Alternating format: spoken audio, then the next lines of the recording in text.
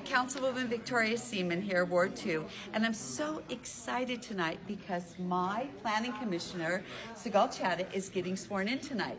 And so we want to show you her donuts. You got to come here and you got to see this.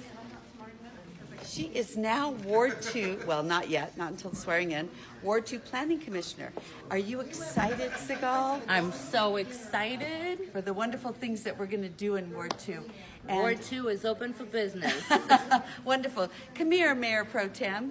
We'd like to, she's here to join us in the swearing in tonight. And uh, we have uh, her parents here and her friends. And her brother. Our team and her brother. Noah. So we're really excited about We this. have all of Israel. He's actually in the medical district. yes, yes.